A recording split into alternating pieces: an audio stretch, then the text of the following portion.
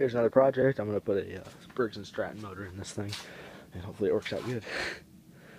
so yeah, I'm just making a real short video. This is a Chinese 125cc dirt bike, and yeah, no clutch perch.